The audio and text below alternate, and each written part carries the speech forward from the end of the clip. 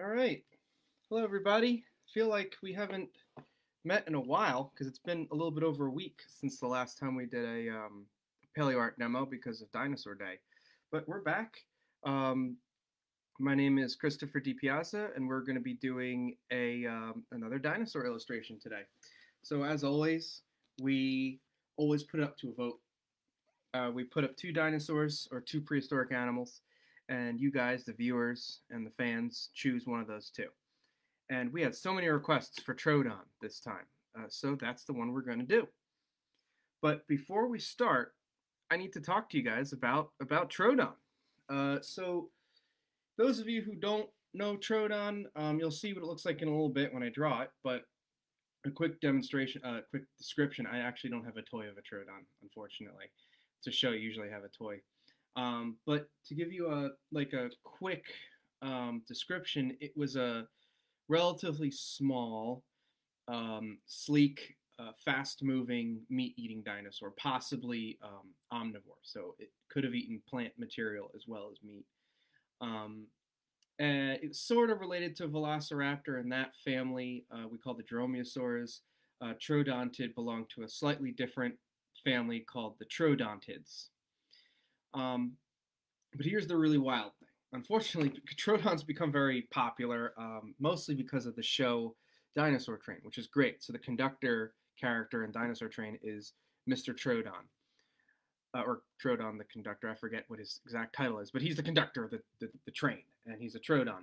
But the thing about Troodon is that uh, as of relatively recently, the name Troodon isn't really valid anymore. So what I mean by that is that the the name Troodon is what is often referred to as a, a wastebasket taxon or wastebasket name. And what that means is whenever um, paleontologists or anybody finds a fossil, uh, usually very fragmentary, like teeth or little tiny bits of bone, that resembles um, what a Troodon could be in the same relative uh, time and place, they assign it to Troodon because they don't really have enough other uh, information about that fossil to really study it thoroughly and give it a name. For all we know, it could be a completely different animal. And that's kind of what turned turned out to be true. So over years and years, uh, all these different fossils from the late Cretaceous were uh, in North America kept getting assigned to Troodon, mostly teeth. Um, there's a skull, a part of a skull in there too. And then finally, uh, paleontologists got together and they kind of really analyzed all these bones together. And what they found out was that what we didn't just have one kind of dinosaur here. We had multiple kinds of dinosaurs, at least two. Um, so what they decided to do was was change the name and give each of these kinds of dinosaurs their own name, which is better for science. Um, and the name, the one of the names that they chose was Stenonychosaurus. Now, Stenonychosaurus is actually an older name, um, which kind of went out uh, when Troodon came in, and then it kind of came back in when Troodon went out. Uh, it's it's messy, but uh, if you look up Stenonychosaurus, it'll pop right up. It's it's it's been around for a while. That name. Uh, so they kind of reassigned the fossils that most people associate with Troodon to a new name. So um, there's a there's another one that was later that most people would think of when they think of Troodon. But most of the fossil material that like the idea of a Troodon is based on, uh, we have renamed uh, Stenonychosaurus.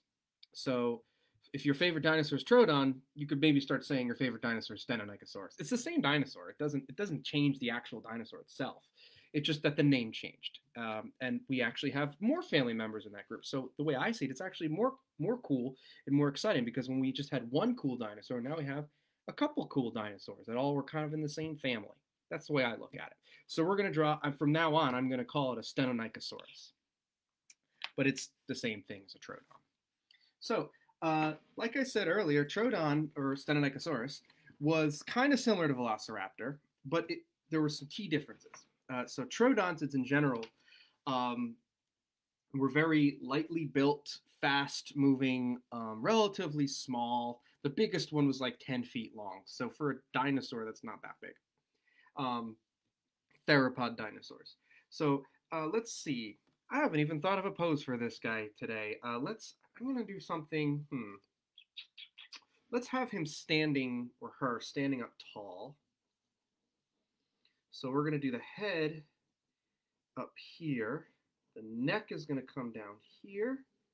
The body's to be here. The tail's going to go like that. So you can see I have basically a head, a, a curved neck, a long oval shaped body, and a tail.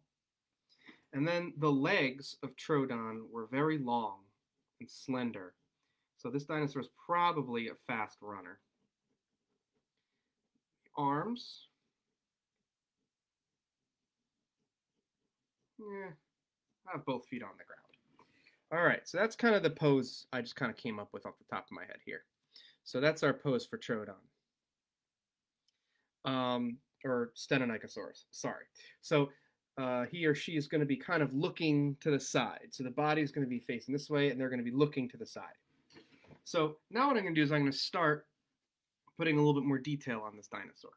So I'm going to start with the, the face. So Troodon, what you need to know, sorry, I keep, I keep messing up. Stenonychosaurus um, would have had, or all the dinosaurs from this family, the Troodontids. There's actually a lot of Troodontids out there. There's quite a few. In fact, most of the, the information that we know about the anatomy of a Troodontid, Stenonychosaurus, is based on related animals from Asia. Um, so there's Troodontid dinosaurs from like Mongolia and China. We have really nice skeletons from this family of dinosaurs. Unfortunately, most of the bones from Troodontids from North America um, are pretty fragmentary, mostly teeth. So they would have had, so based on these, these Asian um, fossils, they would have had a long, narrow snout and large eyes. These guys had very big eyes. And most, a lot of scientists think that they could have seen well in the dark. So I'm going to do some big round circles for the eye there. and then the neck would have been pretty slender. And the chest would have been here. I'm going to move the arm up a little bit. And the arms of these guys, here's one, one key difference. Uh, with like Velociraptor and the other dromaeosaurs, they had relatively long arms. These guys had shorter arms than those guys. They still had the three fingers though. And here's the body. Then here's the, the thigh and the, the long, slender foot bone. And they would have walked on two feet, so, so two toes. So just like all, all the dinosaurs that I've shown you so far, all dinosaurs walked on their toes. So um, this is actually the heel, like the heel on your foot, this is like the length of your foot. This is what would be the equivalent of like the balls of your feet. And these would be the toes. So these guys walked on two legs, uh, two toes, and just like Velociraptor, they also had that famous retractable, what we call killer claw. But the thing about troodontids is their their killer claw was not as well developed and not as heavy duty as a dromaeosaurids like Velociraptor or Deinonychus. So they did have it, but it wasn't as ex- exaggerated and, and, long as um, the dromaeosaurids. Um, and then we're going to do the other. The other leg is going to be here.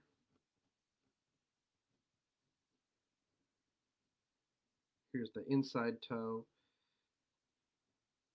Here's the other claw there. Okay. And then there, here's the tail. I'm going to beef up the tail here, make it a little thicker. We know all dinosaurs pretty much had a very thick tail base. There was muscles. I'm going to erase this line because we know that there were muscles that went directly from the thigh into the tail. Okay, so that's like our basic Stenonychosaurus shape or Troodon shape. Um, but now we have to add something important because the, if you were to meet a real live Stenonychosaurus or any member of this Troodontid family, it would not look like this. This is a pretty indecent version of this dinosaur. The overall body shape would have been very different, and it would have been different because of what was growing out of its skin, and that was feathers. So Troodontids had feathers. They are a family of dinosaurs that is firmly planted in the branch of the dinosaur family tree that we know had feathers. We call them the Coelurosaur branch. So a group of the theropod dinosaurs, which includes the um, the dromaeosaurs like Velociraptor, the Oviraptorosaurs like Oviraptor, most people know that, the Ornithomimids, Struthiomimus, Ornithomimus, Gallimimus, uh, the Therizinosaurs, which have the big funky claws, um, the Tyrannosauroids, so T-Rex, of course, everyone knows, Albertosaurus, Gorgosaurus. Um, there's a lot of the Alvarezsaurids, which is a, a, a, weird one. They have little tiny short hands. And the Troodontids, and there were, there were some others. And birds. Birds are in this group as well. They all had feathers. The common ancestor of all those dinosaur groups had feathers. There's actually other dinosaurs that had feathers too. But we know for a fact that if you're a Coelurosaurid, you almost certainly had feathers in some form.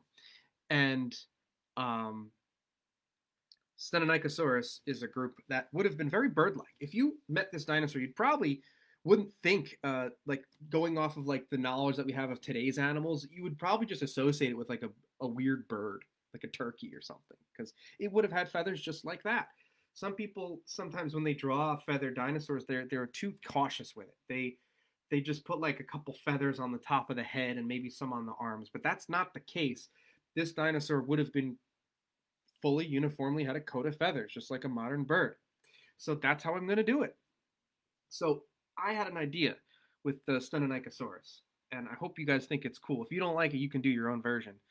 Um, oh, you have a Troodontid. You have a Troodon toy? Is it? I didn't know there were. So, so uh, I'm sorry if I pronounce your name wrong. Saleh, Saleh. I'm sorry um, if I got that wrong.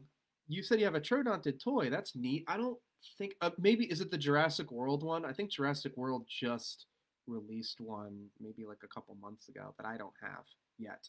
But I, I'm pretty sure like Wild Safari doesn't have one, um, which is what most of my toys are. I have some Jurassic World toys too, but I don't have the Troodontid one. Um, but anyway, I know um, an old company, um, a very old company, like from before I was born, uh, called Invicta, made a Troodontid as well. Um, they called it Troodon is it? It's the Jurassic World. I'm assuming that's what the thumbs up mean. Yeah. So yeah. So the Jurassic World one also, I don't think it has feathers, if I'm not mistaken. I think it has like fins on it, but you can't take anything Jurassic World does seriously. They kind of just have fun with it, right? But ours is going to be more scientifically accurate. So here's my idea for the Stenonychosaurus. Um, since they had big eyes, and a lot of scientists think that they could see well in the dark, um, they might have been nocturnal, uh, or they might nocturnal means that the animal was active at night. Um, or maybe um, uh, maybe it was what we call crepuscular. Crepuscular means an animal is active during dawn and dusk. So when the light is down, there's not bright light, bright sunlight, but it's not pitch black either.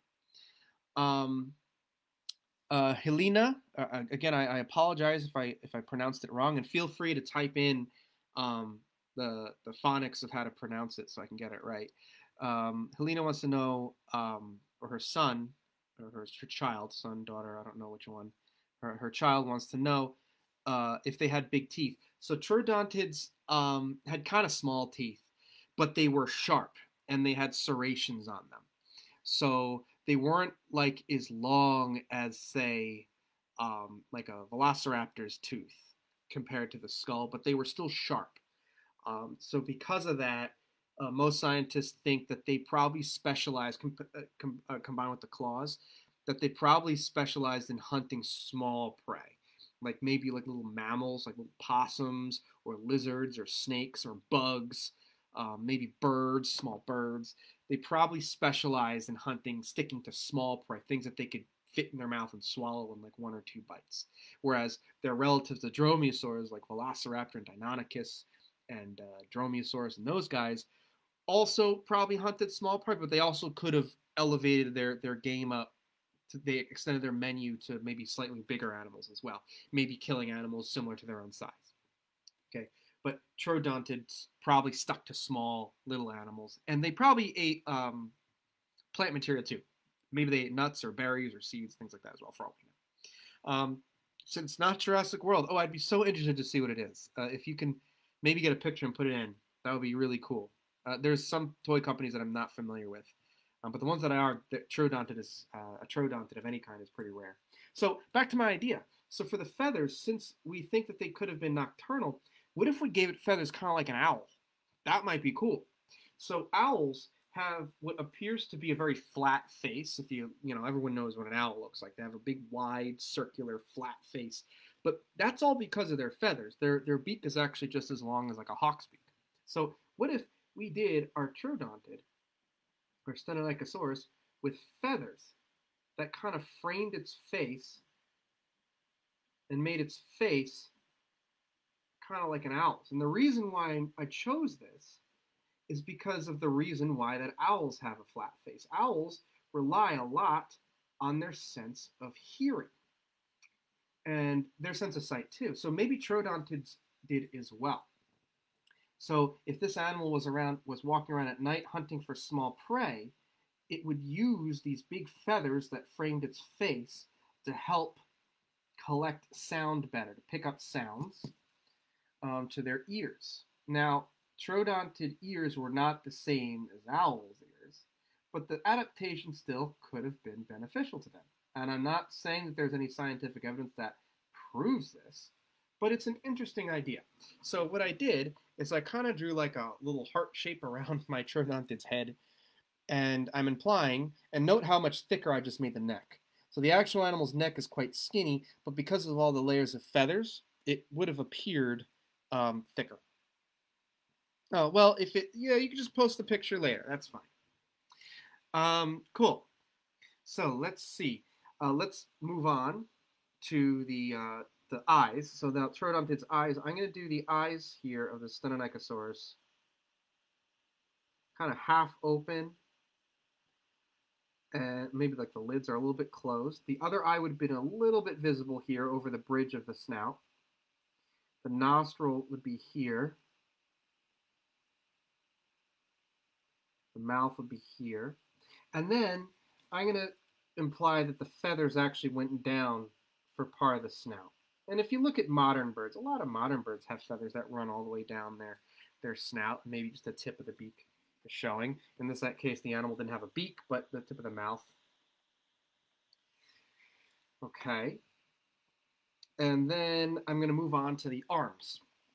Now, troodontid would have had feathers on the arms, similar to a bird's feathers. So I'm going to give it like the shape of a wing here.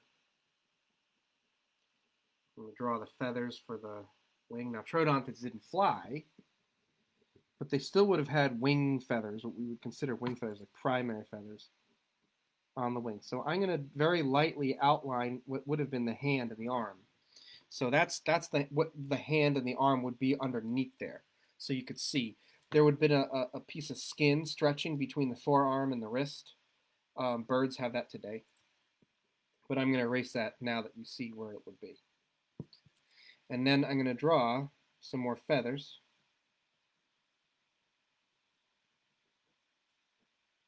I'm going to define the feathers here.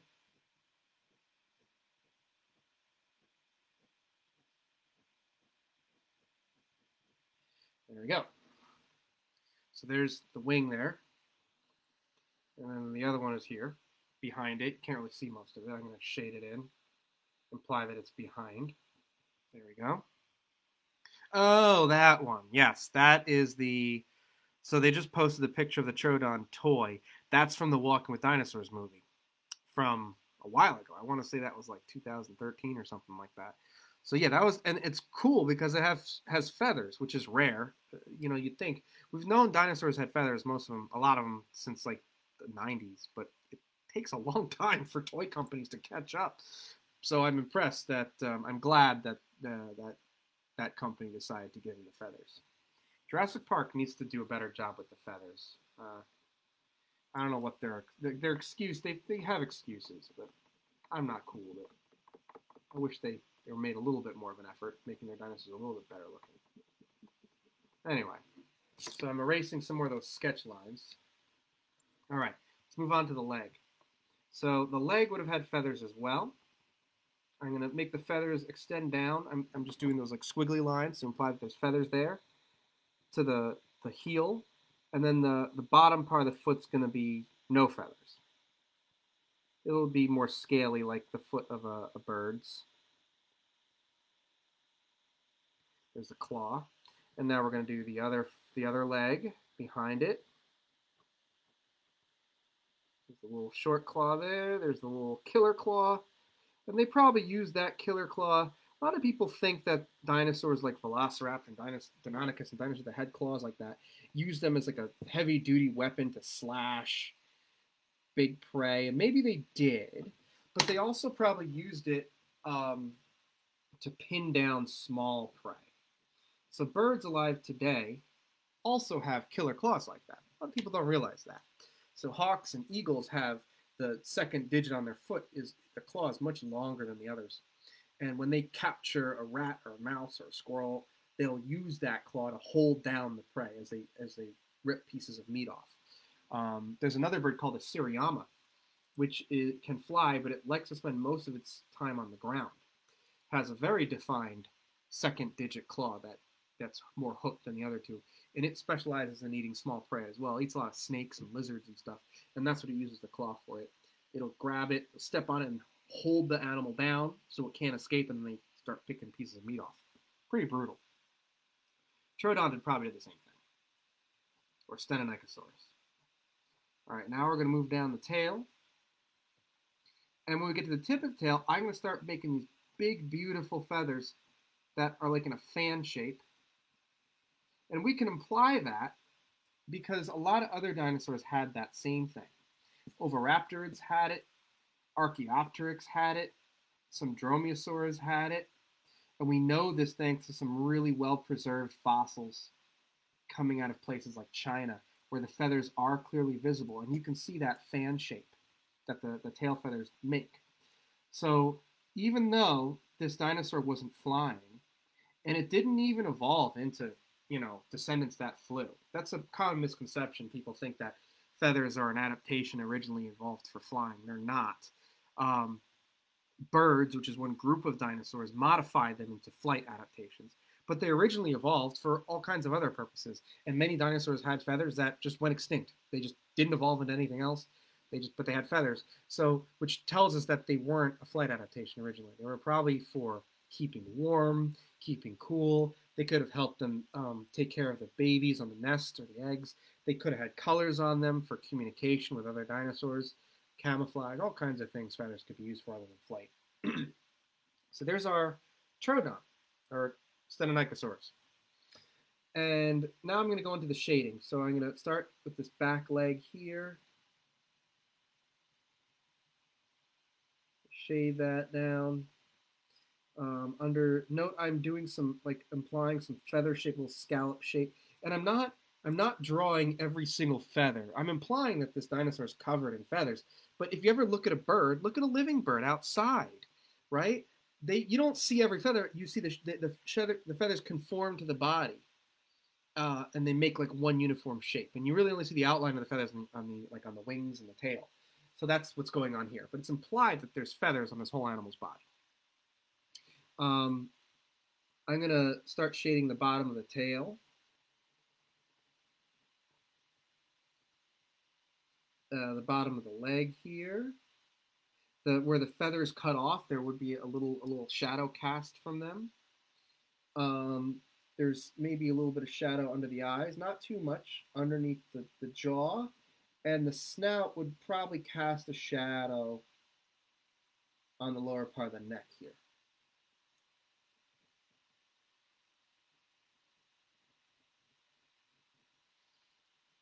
Maybe a slight shadow on the under part of the neck, but that's that's it. It's not going to go past there. And then we'll do a shadow on the belly. There we go. Cool. All right, so there's our Stenonychosaurus. To erase the um, lines here. There we are. And I think we're ready to paint. All right, so let's let's reshape our workspace here like we always do. So I'm going to take this, put that down here, put this down here, rotate the camera so you can see the pit of the paper a little better. Put the pencil up here. Here's my water. Here's my paint brushes. And here are my paints. And again, if you're not, you don't have to use watercolor paints. You can use whatever you want. Use crayons, colored pencils, markers, I don't care. It's up to you. You're the artist. Ugh. but I'm using watercolors. All right. So since this dinosaur was a, um, oh, you know what? I'm going to draw a little bit of a, little bit of the background here. I'm going to make it like it's standing on like a like a log. So I'm going to just draw that here. There we go. So you can see I, I just drew like it's standing on like a log there. All right, so um, since this dinosaur was probably active dusk or maybe at night, um, I want to make sure it has good camouflage because it was a hunter, so it wanted to make sure that its prey didn't see it, but at the same time, it also wanted to make sure that predators didn't see it because remember, Stenomachus wasn't a terribly large dinosaur, and it would have lived in the same time and place as a lot of bigger, more dangerous meat eaters, particularly a lot of different kinds of tyrannosaurs. So, uh, at least a couple different kinds of tyrannosaurs that it would have had to watch out for. Even dromaeosaurs would probably take a swipe at it for food. So it had to hide from both its predators and its prey. So let's give it some. I'm going to think about owls when I do this. Um, let's give it some really cool, uh, like a nice, pretty brown, like a chocolate brown. And then we'll work some oranges in there and maybe some blacks in there. That's my thought process here. So I'm going to start with this dark brown. And I'm going to start at the top of the head. I'm, I'm going to leave the face for now. And I'm going to paint around the face.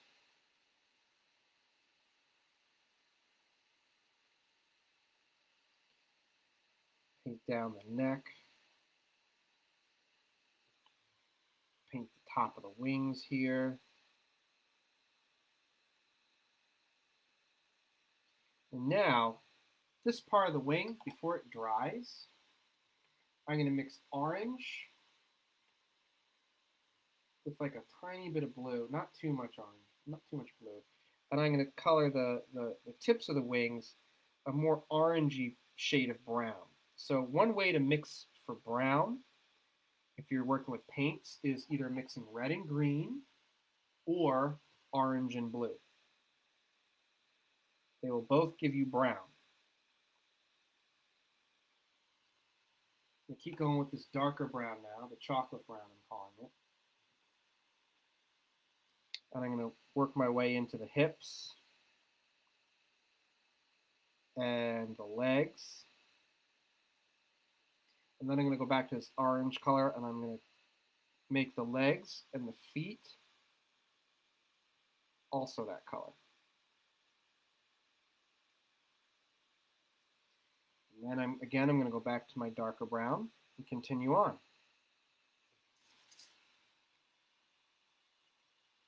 Now again, you can make yours whatever color you want. So you don't have to follow mine exactly at all. That's that's fine.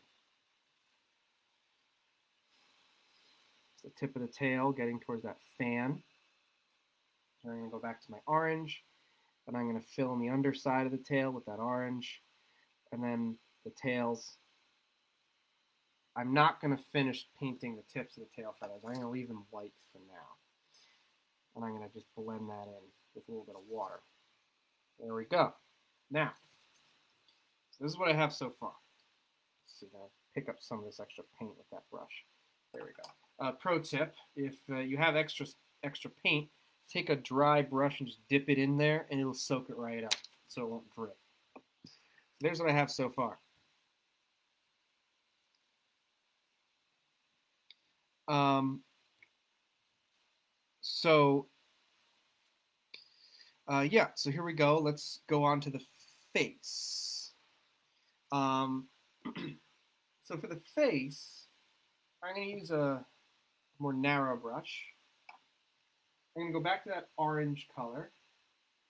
And I'm going to very carefully paint. Oh man, I didn't have enough paint on here.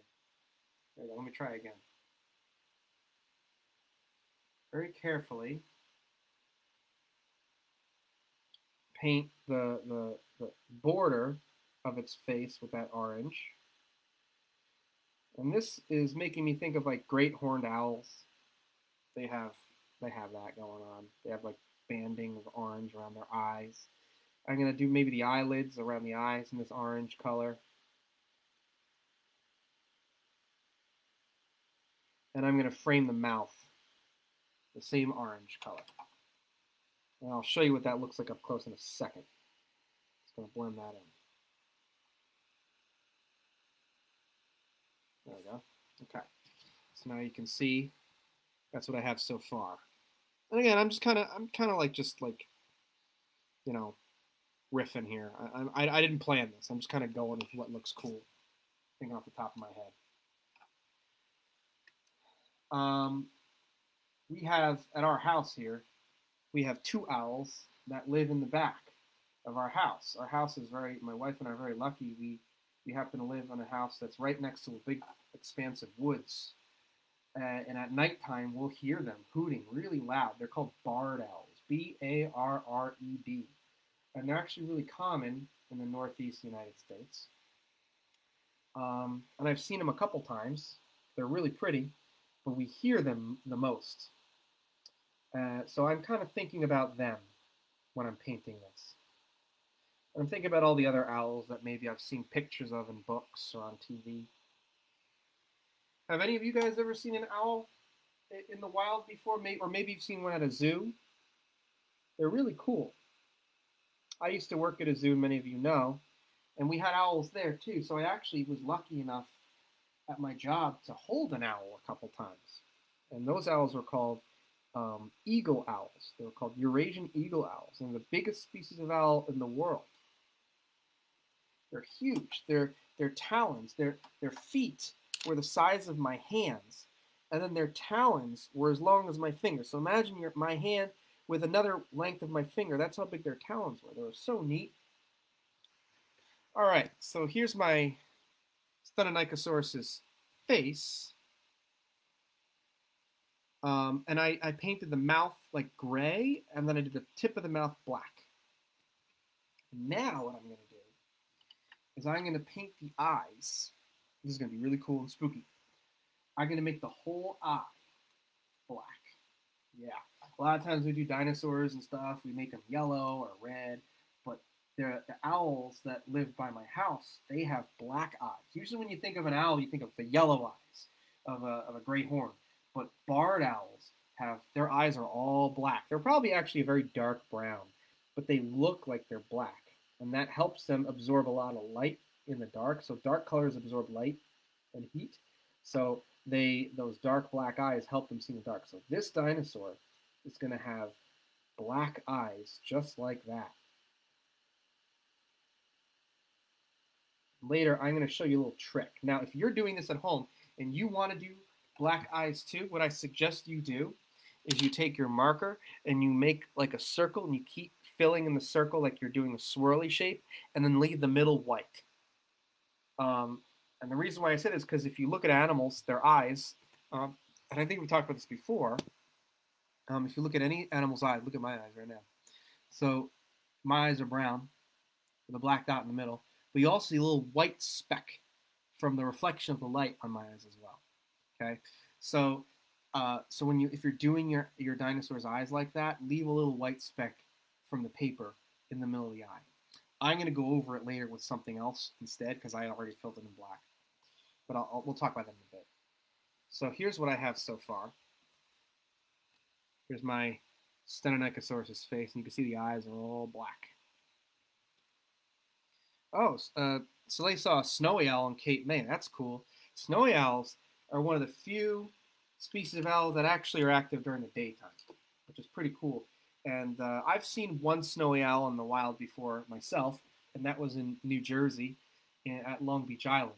A lot of people go to the beach in the summertime, but I like to go to the beach in the wintertime because that's when all the cool birds come, including snowy owls. They, they breed up in, up in Canada um, during the spring uh, and the summer, but they come down in the wintertime and they hang out on the beaches.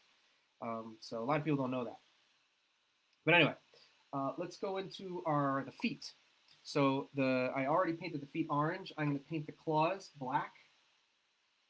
Uh, a lot of a lot of birds of prey have black claws, or talons we call them. So I'm going to work on those there. There we go. Fill those in. It's kind of like more of a grayish black. That's okay. Gonna fill in this little, this one little hand claw showing through on the on the arm. That's okay too. In in real life, if you were to see one of these guys, Velociraptor too. I don't know if you remember when we did the Velociraptor painting. You don't really see the hand claws. They're mostly covered by feathers, and which is funny because a lot of people when they think of Velociraptor, they think of the big claws and the hands. They still had them, but in life they would have been completely covered by wing feathers. And now what I'm going to do is I'm going to take that same brown that I had before by mixing the red and then the green, most more, a little bit more red though, keep it more brownish. And then I'm going to mix a little bit of black to make it a, like a shade darker. Now what I'm going to do is I'm going to put in some pattern to help this dinosaur camouflage.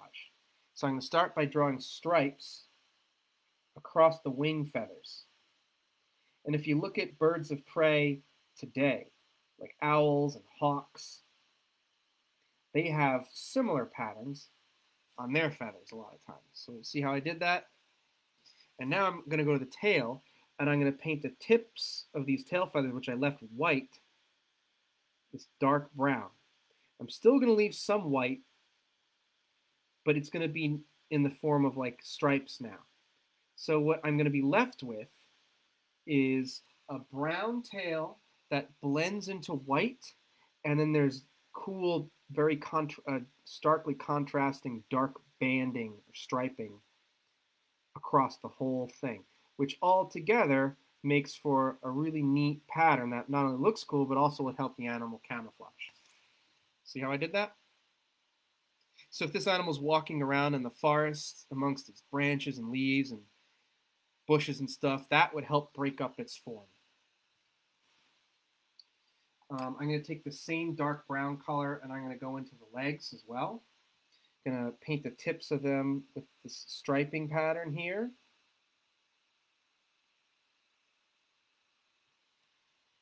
And I'm also going to go into the face as well. Going to frame, remember how I did that orange frame around the face?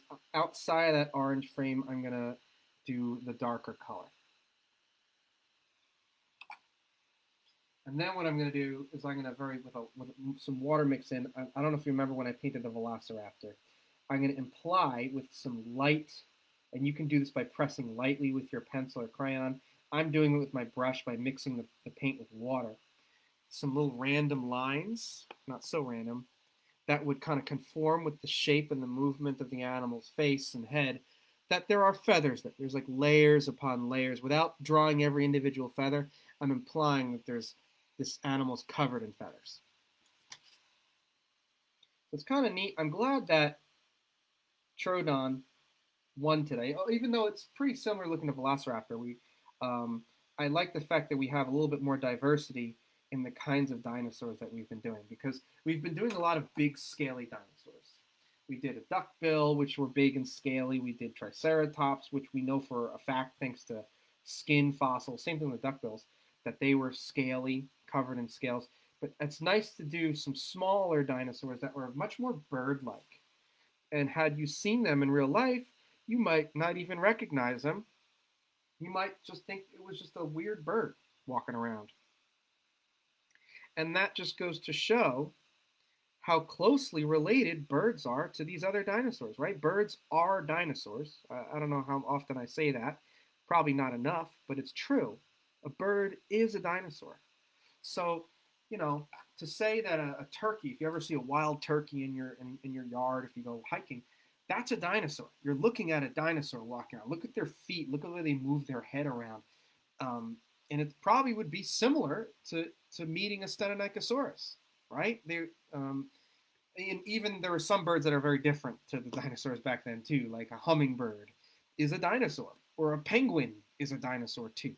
Uh, it's funny when I used to work at the museum, kids would ask me questions. They love to ask what the most intense version of every dinosaur is, right? And they ask me what the biggest dinosaur is, what the smallest is, and some of those answers are actually modern birds, right? So like, if you were to ask me what the smallest dinosaur is, the smallest dinosaur is a hummingbird, because birds are dinosaurs. Um, what's the fastest dinosaur? Well, that would be a peregrine falcon. That is a bird, and they can speed dive at over 200 miles an hour. Um, so that would be the fastest dinosaur. And uh, do any dinosaurs live or swim in the ocean, in the open water? Yes, penguins, right? They they dive deep under the ocean. So, you know, birds should be included in that dinosaur group. Uh, yeah, good. Yeah, someone just said, yeah, it reminds them of a turkey, and that's a good thing because a turkey and a troodontid, like the Stenonychosaurus, are in the same group of animals. They're both Coelurosaurian dinosaurs. They had a lot in common. All right. Um, now, what I'm going to do is I'm going to do something cool. I don't think I've done it with you guys yet. I have this stuff. This is called. This is called um, the, uh, uh, gouache, I think it's called. Um, and it's kind of like watercolor paint. It's a little bit thicker, and I have white. I only bought one color, and that's white. I work in watercolors. I don't work in gouache. Some, some artists do. Um, gouache, how you call it, pronounce it. I, I don't know. It doesn't. It's fine. Sorry if someone knows the proper way to pronounce it. Please just let me know. Uh, I don't work with enough to know. But I, I only use white, and the reason why I do that is for this exact thing. I take my paintbrush, I dab it. I don't even put it on a palette. I just dab it into the tube. So they have white on the tip of my paintbrush. Then I go to my dinosaur's eyeball and I just go bloop. Make one little white dot and then I'll do bloop. Put a slightly smaller white dot next to it. And the other eyeball, bloop, same thing.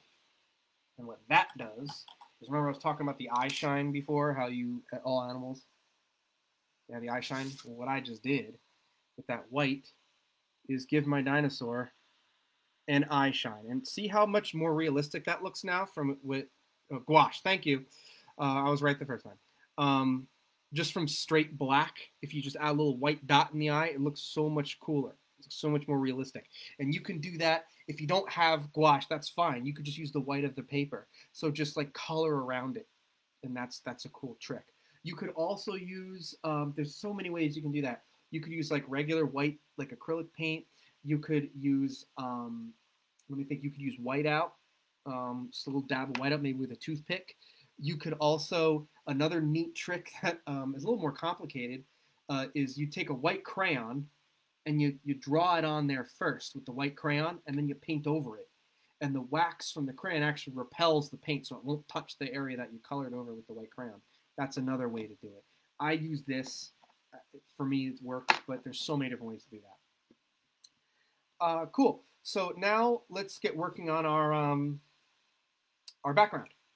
So this animal uh, is like in a kind of like a forest.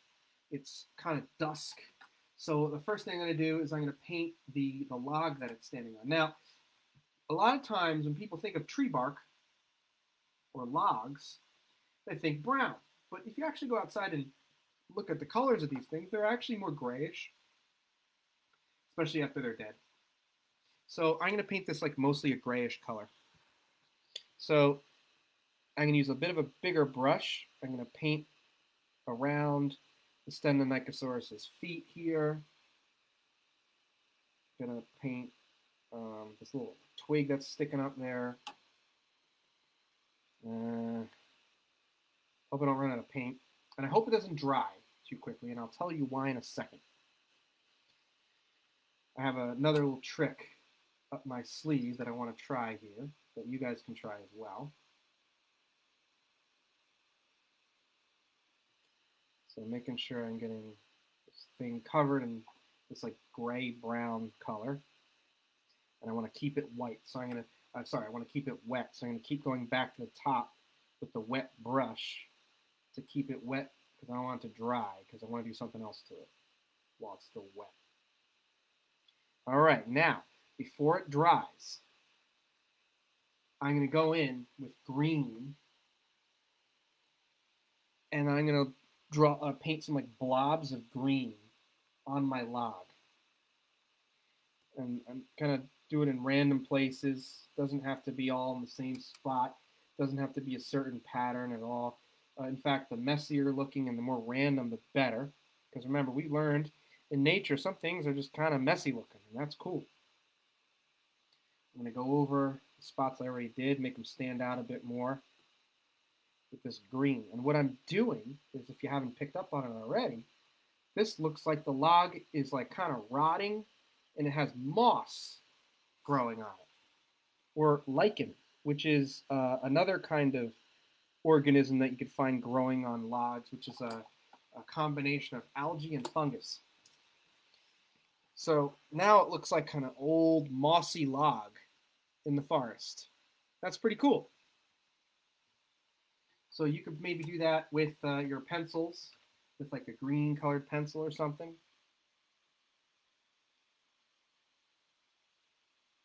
There we go. Do, I do a lot more green there. There we go. Cool. And there we have our mossy log. And then what I'm going to do is I'm going to take the green again, uh, mix it with brown. So it's mostly green, less brown. And I'm going to lightly start painting in like some some like foliage in the background. Oop, that's a little bit too brown. Got to put a little more green in there. So like kind of like blobbish. I'm gonna do this like an evergreen tree or a Christmas tree if you ever had a Christmas tree you celebrate Christmas. Because back then, during the Cretaceous, and actually before the Cretaceous even, there were evergreen trees. I don't know if you knew that, but evergreen trees, pine trees we call them, are prehistoric. It's a prehistoric kind of tree. They've been here longer than the dinosaurs have. Some dinosaurs probably ate them. Oops, sorry. Couldn't see what I was doing there. There's like one little tree there. And note how I'm not making it too detailed. I'm just kind of drawing some blobs in green. Do another evergreen tree, uh, big one here. It's going to be a taller one. And evergreens, they can grow pretty wild too. They can get some big long branches and stuff will kind of be hanging off the branches. So I, I like to imagine like maybe back then in the Cretaceous, there were some pretty thick forests that with a lot of evergreens would have looked really neat to maybe hike back then. And it would have been pretty neat to see some dinosaurs. Maybe not like the Tyrannosaurs up close, but maybe if I could like, you know, ensure that my life was uh, not in danger, I'd feel better about it.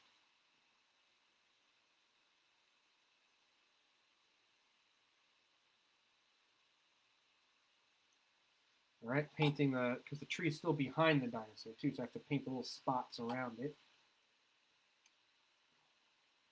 Mix, gotta remix the green color. Mm, that's too brown. There we go. That's better.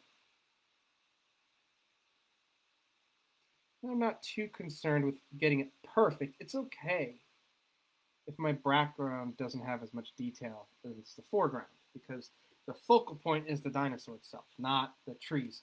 So if we had done the trees in the foreground and the dinosaur in the background, then it would be reversed. But I don't want to draw too much attention away from the dinosaur. And if you think about it, if you look at like maybe photographs of animals, maybe you go online and you look at pictures or in a magazine like a National Geographic or something of uh, photographs of animals in the wild, you see there's trees in the background, but they're kind of out of focus. That's just the natural way it looks when your eyes are looking at something. Right. Another tree there. Gonna paint underneath here. There we go. I'm to do one more big evergreen tree on the, the right side of my picture, just to kind of balance out the framing here.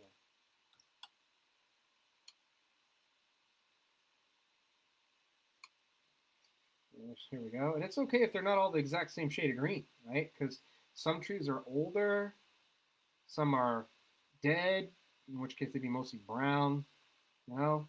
So it's okay. It's actually better if you're doing multiple trees and you're painting that the trees are slightly different shades, even if they're the same kind of tree.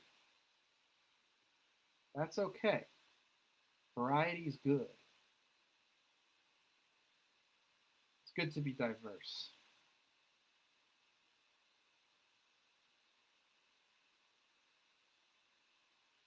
Nature is naturally diverse.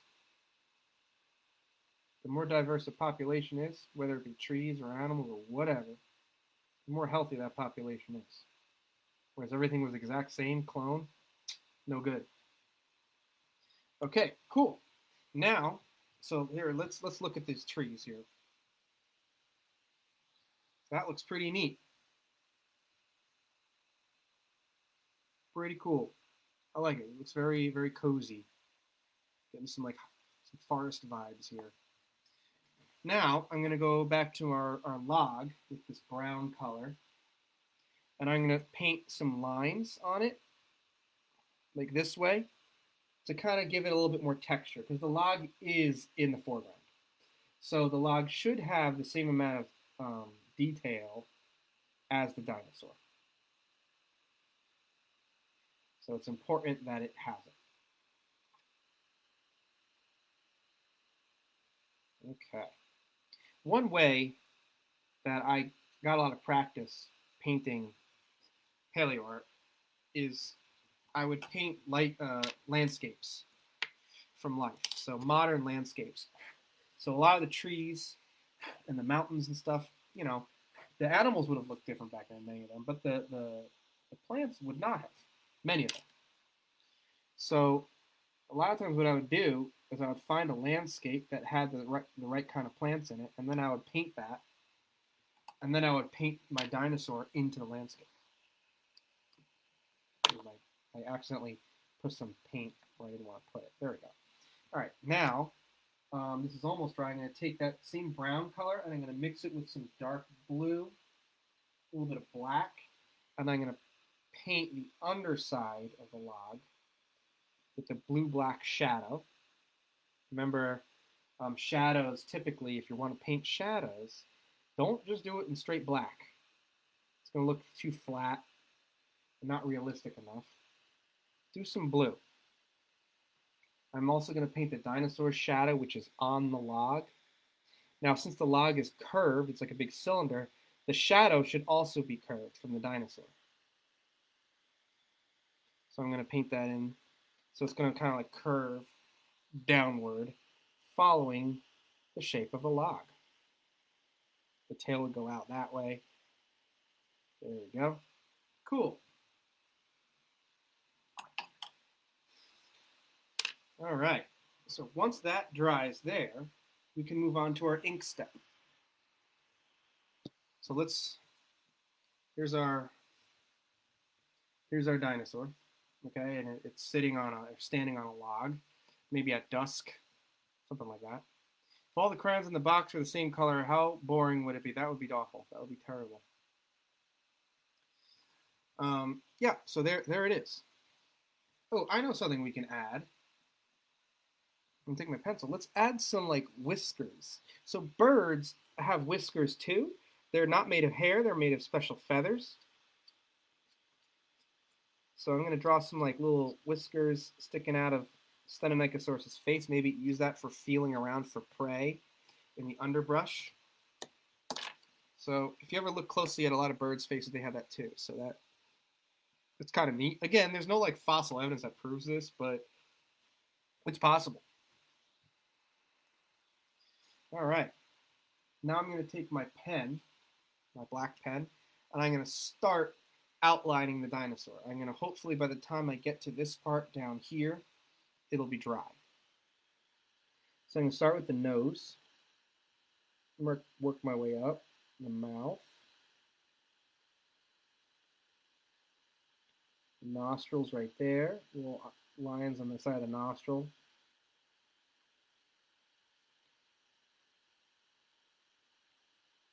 eyes, eyelids,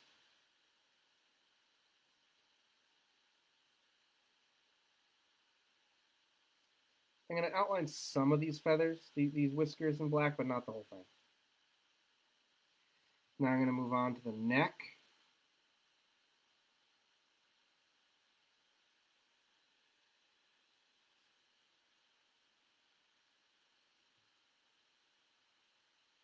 the arms, where the, the wings and the fingers are.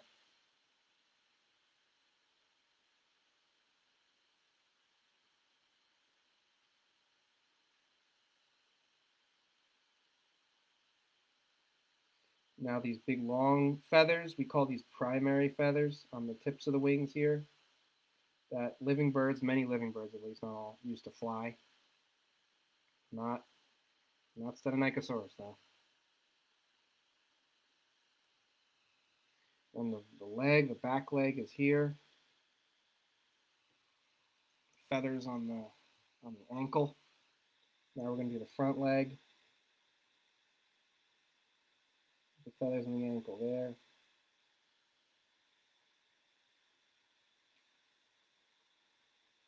And that shape is going to continue right into the tail.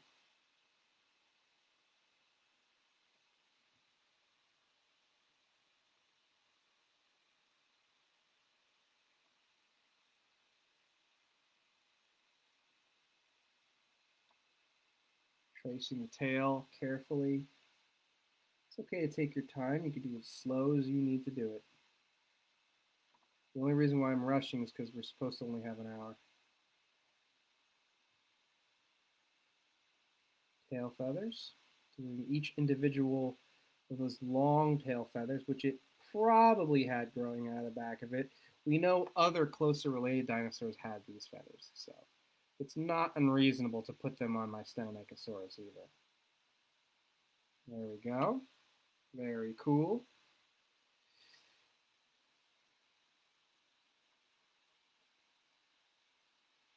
And then, uh, yeah, just in time. Now let's go on to our feet. There's that killer claw. There's the other one. There's the other one. I'm going to do some lines here, and I've done these same lines in our, some other dinosaurs. Imply that there's some scales, some wide rectangular shaped scales. Um, birds alive today have them. Also, alligators and crocodiles have them. Um, apparently, Triceratops had them according to the mummy that they found that preserved skin. So it's not wrong to put them on some other dinosaurs either until we find out otherwise that directly contradicts it. All right. Uh, I'm going to sign my name right here, Chris D. And then real quick, because I'm noticing it now, I'm going to go back in where the dinosaur meets the log and just do an even darker shadow, just to give it a little bit more depth. So right around here, right here. Just a little bit darker of a shadow. And I'm also going to do it on the very bottom part of the log. Even though I, I put shadow there already, there we go. Cool. All right. And there we have our Troodontid, our Stenonychosaurus. We originally said Troodon. Let me go back in with the shadow. But we originally said Troodon, but then we learned that Troodon is not really a valid name anymore. We should really say for, for most of the animals that people are like, thinking of, it's actually Stenonychosaurus. There's a couple others too. But Stenonychosaurus, I think, is the most, the one that most people are thinking of. There we go. There it is, our Stenonychosaurus, our troodontid, a very bird-like, but not quite a bird dinosaur. All right, so I hope you enjoyed it. Um, please, in the comments section, why don't you, oh, how big is Troodon? Troodon uh, depends on the kind that you're, you're talking about, but the biggest um, members of this group were about 10 feet, about 10 feet long. Some of them were smaller. Some of them were like six feet long. Um, so between six and 10, depending on the one that you're talking about. Not, not terribly large. Um, but anyway, if you have a, um, a dinosaur that I have not done yet, or even another kind of prehistoric animal, because we've done a mosasaur, we've done a pterosaur, um, please uh, put it in the comments section, and um, I'll we'll put it up for a vote, and maybe it'll be next week, so that'll be cool. Um, so I hope you had fun drawing our our troodontid, our Stenonychosaurus today, uh, and I'll see you guys next week, uh, Wednesday afternoon, Eastern time, four o'clock. All right, so long.